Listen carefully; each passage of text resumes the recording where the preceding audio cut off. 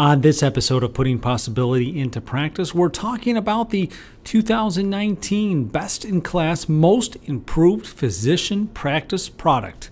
That would be Intergy.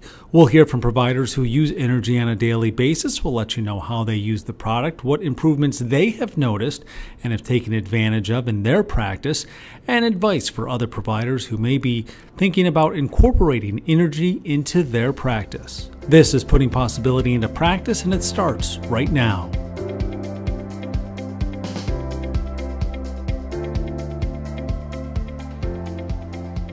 I'm Joe Augustinelli, Social Media Manager at Greenway Health, and welcome to this episode of our podcast, Putting Possibility into Practice. We're talking about Intergy, the EHR and practice management solution offered by Greenway Health. Some recent accolades that uh, the product was recognized for, and we are talking with providers, two providers, two pediatricians, ironically, on how they use Intergy on a daily basis in their practice. If you are a returning listener, thank you for once again tuning into our podcast. And if you are a new listener, we'll have some information towards the end of our podcast episode on where you can subscribe to our podcast. And as I mentioned, we do have two providers here on the show with me.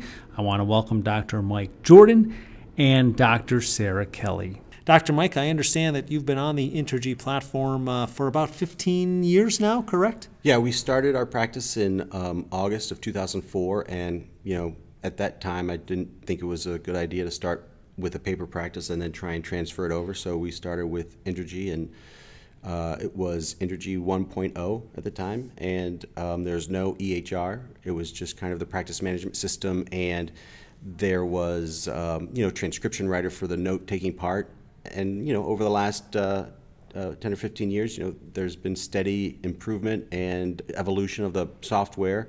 And you know, as the software has grown, our practice has grown, and it's been quite a uh, very kind of mutually beneficial partnership. And talk a little bit about over the past 15 years. I mean, obviously, a lot has mm-hmm. changed in healthcare. A lot has changed with Intergy. How have you seen it uh, evolve in the last 15 years to stay up with the current trends in healthcare? Well, I think that you know they've always you know made improvements you know to the software and um, uh, adding certain um, aspects of the Intergy suite to our practice have have allowed us to do certain things like we added practice analytics and that was very helpful as far as uh, helping us meet the requirements for uh, becoming a patient-centered medical home. Um, you know, and then just different, like, you know, obviously I use the EHR aspect of it more now than, for instance, like the practice management side of it. But, you know, within the practice management side, they've had different um, upgrades to the software where claims control and things like that that allow us to do our billing more efficiently and the scheduling are always you know they've changed or added or upgraded the way scheduling can be done we've added you know our um, uh, patient portal, which has given us uh, the ability for our patients to access us, you know, outside of the office, and that has allowed us to, you know, streamline our prescription refills and reporting of labs and things like that. So, I mean, all these different things have uh, kind of kind of stacked on top of each other over the last uh, 10 or 15 years, and um, you know, we've been able to kind of keep up with the different requirements, whether it's for meaningful use or patient-centered medical home, things like that and talk a little bit about you know if a practice or a provider was considering incorporating Intergy into their practice what advice would you give them well i think one of the reasons i chose Intergy was because of its longevity and that it's kind of um, been around for a long time as kind of starting as medical manager and then kind of morphing into Intergy. You know, the fact that it's kind of right outside of Gainesville didn't hurt either. And um, I think that uh, we've had a lot of, um, you know, the, the, the, fact that I know that's, that they're going to be there and the customer support's there, the, the, the service is going to be, um, can, is going to be very high level. You know, so every time we have any interaction with um, uh, the company Greenway, whether it's for uh, support or another customer service issue or billing or um, we need hardware support, you know, they're always very um, quick to respond to our needs and really want to help us solve any problems that we may have. And as we talk about the evolution of uh, Intergy, it was recently um, recognized as a, as a improved product, uh, you know, by, by physicians for the KLAS award. You know, have you seen that over the, the past year or so, the improvements to Intergy? And, and I'll, I'll back that up with if you could make improvements down the road in the next generation, you know, what would it be? Yeah, I think that you know the the um, the the software developers are very interested in what the um, their customers have to say, and I think they they want to make a product that their customers want. So, you know, they're very uh, there's always opportunities to either you know uh, work through um, mock-ups of the product. You know, there's the um, uh, on the Greenway community you can make um, suggestions, you know, as far as hey, these are things that are important to us, and I think they take those things seriously. You know, every, everyone can kind of vote on the different issues that they think are important, and those things are uh, incorporated into the new versions.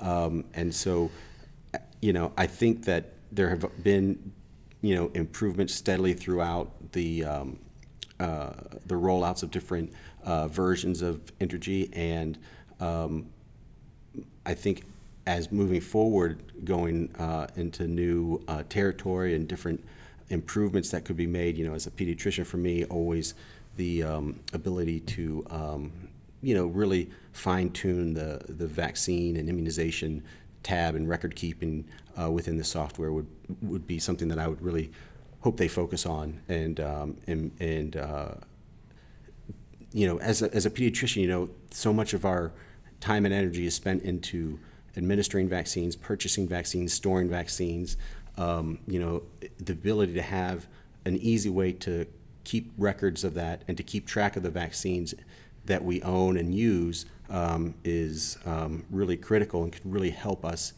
um, report on, okay, hey, how many flu vaccines are we going to need this year? Well, you use this many private, this many vaccines for children's uh, uh, flu vaccines, and you know, having that kind of automated and maybe integrated into like an inventory system, um, you know, all those different things where you know you can really make it so there's a lot, you know, there's not a lot of cognitive load involved in trying to figure out what to do with all your vaccines. That it's just kind of automated those kind of things I think would be very helpful.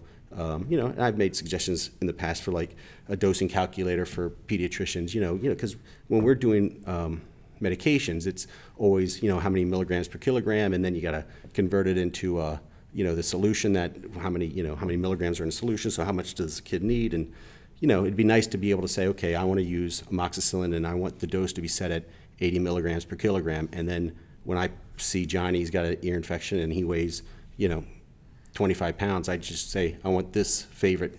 And then it does all that calculation and spits it out. And then, you know, I won't have to worry about that. You know, mm-hmm. over the years, I mean, obviously, you, as, you know, that stuff kind of, you, you know those numbers, yeah. but at the same time, it'd be nice just to not have to think about that all mm-hmm. the time either, you know. Take that off our plate. Awesome. Well, thank you for your uh, input on Intergy, and we appreciate you taking time on our on our podcast once again, Dr. Jordan. Absolutely, anytime. And I am joined by Dr. Sarah Kelley. She is a uh, physician with Health Choice Network. And Dr. Kelley, thank you for taking time out of your day to join us on our podcast. Sure, yeah. And uh, talk to us just a little bit about where you're in practice, the specialties, and and uh, what you see on a daily basis. Yeah, so um, I'm a pediatrician by trade. I work for uh, Community Health Centers of Pinellas. We are a member of Health Choice Network, so we belong to that conglomerate organization that um, helps us on a variety of levels. But I work in Pinellas County, Florida. Um, I primarily see patients out of our Pinellas Park location, but our um, organization has 11, almost 12 locations all across the county. And um, how long have you been in healthcare? So I have been with Community Health Centers of Pinellas almost seven years now. It was my first job out of residency, so including residency, I guess almost a decade. Oh wow! Uh, and you talk about uh, you use Intergy on, yes. a, on a daily basis. Uh-huh. So, um, you know, what are the challenges providers face today when it comes to technology and patient care? Sure. So, you know, technology is obviously meant to make our lives easier, but sometimes it can gum things up a little bit just from the natural processes of working with computers and systems go down and we seem like we're flying in the dark sometimes because we utilize those so much that when we don't have them to rely on then seems like we don't know anything about anything when when stuff goes down so Um, and then just the natural flow sometimes with patients gets a little um, uh, difficult if you when we're utilizing technology because that takes away that interaction, that patient engagement sometimes. So you have to make a um, you know specific uh, activities or, or, interventions to make sure that you're actually engaging with your patient instead of staring at your computer screen the whole time. And how do you use Intergy on a daily basis? So it's our EMR. So I use it from start to finish all day long. So I'm charting patients in there, I'm ordering things, I'm documenting phone calls, um, reviewing tasks and images, I'm ordering uh, medications, sending those to the pharmacy, refills, you name it. And so now, from the provider perspective, what do you like most about the uh, the platform and the solution that you have? Yeah, so I think as far as um, it giving you the basics and it being fairly easy to pick up, um, you know, at my organization I do a lot of provider training, so I'm working with providers fresh out of school and providers that have been out of school for a long time, so I may not be as computer savvy. It seems like most everybody can pick up Intergy pretty well um, once you kind of get an orientation to the basics of things, that it's fairly intuitive and you kind of know where things are. And what changes have you seen over the, the past year? It was recently honored as the most uh, improved physician prod, uh, product by KLAS. What have you seen over the last year uh, on the improvement side of Intergy? So, you know, they've been making a, a lot of improvements, um, you know, with the medication module. I think that the, the being able to pull in and some of the interfaces with the pharmacy and, and, and those types of things have helped a lot. So being able to tell when your medication has made it to the pharmacy, if it's in the queue or if it's been rejected, um, being able to pull in some of the insurance claims and knowing whether or not that medication is actually filled by the patient and picked up at the pharmacy, that that's been a really nice um, tool. Being able to pull in medications that are prescribed outside of your organization as well through insurance claims, I think was a huge um, game changer to be able to know that my patient went to the emergency room and got this prescription mm-hmm. from another doctor. So now for the next 24 hours, I'm going to put you in charge of the path to innovation and help, you know, hands-on help develop the uh, the next uh, generation EHR and practice management solution.